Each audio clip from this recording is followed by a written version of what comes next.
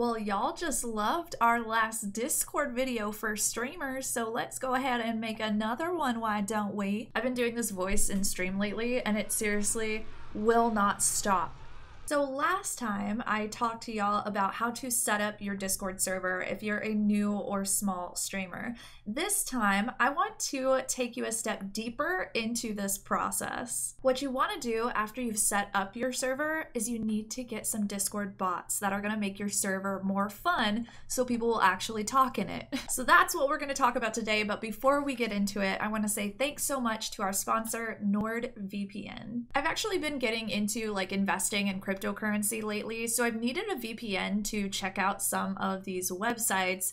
And believe it or not, I got NordVPN like a few days before they reached out and asked to sponsor a video. So, NordVPN is obviously a VPN. This is really important for y'all if you are on the internet a lot and you care about privacy because a VPN is going to encrypt your internet access. So, it's going to keep your passwords safe, your banking information safe, it keeps your browsing history private. It also can make it look like you are uh, accessing the internet from a different country, which is freaking bananas to me, but okay, technology, you go. Nord is also really cool because it has an application for pretty much everything. You've got Android, Mac, uh, iOS, Windows, literally whatever device y'all use, even Linux can be protected by Nord. Also, if for some reason good old Mama Ashni is not enough for you, PewDiePie, Casey Neistat, and Philip DeFranco all use NordVPN too. It is the freaking best of the best whenever it comes to VPNs.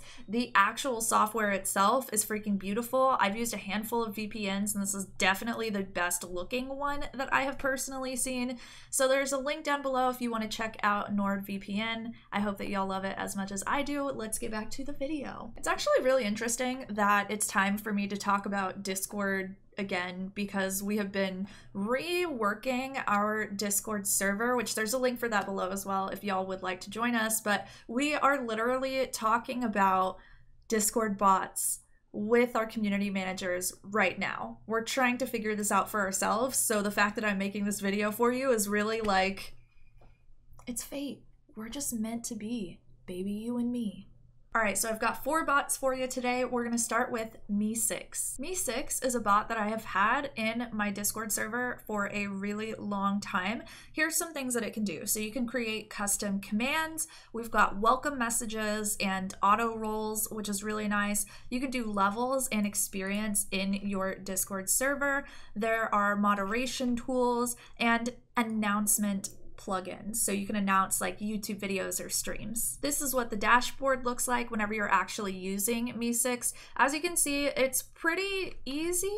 It's there's a lot here for sure, but it's definitely I mean it's you don't have to know any like huge tech anything to freaking use this. So MEE6 is a really great just general Discord bot.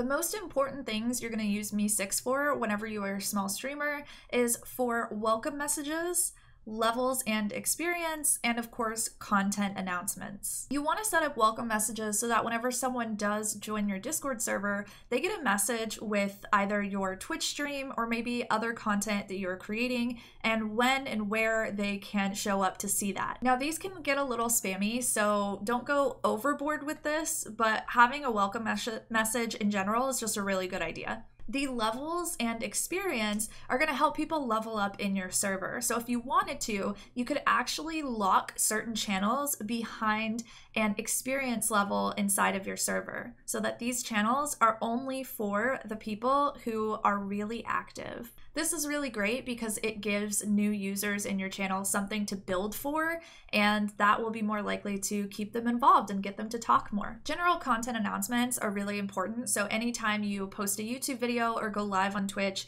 you don't want to have to go into your Discord server and automatically type out a message. You want to automate this process so that your going live process is easier. How many times can I say process in one video? Let's figure it out. All right, the next bot that you want to play around with as a new streamer, and one that I'm going to start playing around with as well, is one that one of my community managers, Kovalovs, recently introduced me to, which is called Apollo. Apollo helps you plan events in Discord, y'all. Think of all those community nights you could be having, watching movies together, playing games together, maybe doing book clubs. I mean, whatever you want to do, you can schedule events and people can also get reminders. We haven't started using Apollo just yet. Probably by the time this video is out, we will have started using it, but this is just a freaking game changer. Imagine you can post a an announcement that you're going to have a community night in your Discord server and people can react to that announcement with emojis in order to get added to that event list. Then when the event happens, they get a freaking DM reminding them to come and hang out with you. Next level, man. I'm telling you, that's so important for a small Discord server because the advantage that you have as a small Discord server is you can hold events like this and everybody can show up and be heard. Larger streamers do not have this advantage. If people show up to their community nights, you usually can't talk because there's so many people trying to talk.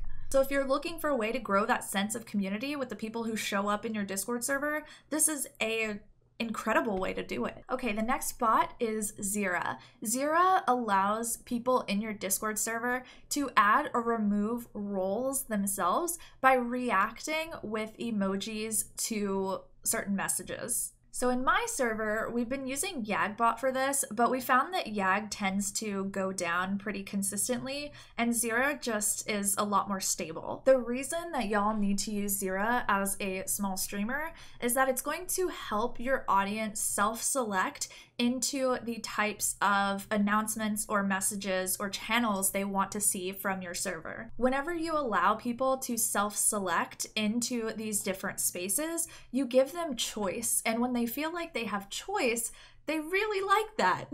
they're also not going to be getting constantly pinged about things that they don't care about, which means that they're more likely to stay in your server longer, which decreases the amount of people who are leaving your Discord server and eventually hopefully will make it easier for you to get Discord partner. So you can set roles for people who want to get announcements of your YouTube videos, want to get announcements of TikToks, or want to get announcements of live streams. You can create different chat channels for the YouTubers, the streamers, the TikTok creators, and you create those channels to only be viewable by people who have a specific role. Then, when people self select into choosing that role, they can view those channels. This also really helps if you want to just straight up completely lock down your Discord server. So, what a lot of people do is they will have an intro channel in their Discord server that kind of outlines the rules. We talked that in the previous video.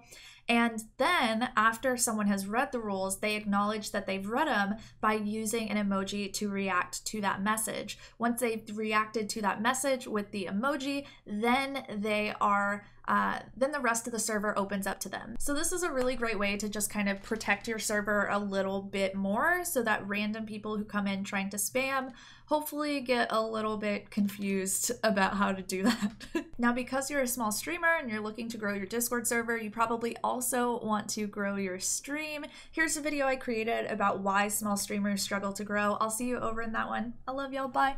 Don't forget to hang out with NordVPN. Okay, bye.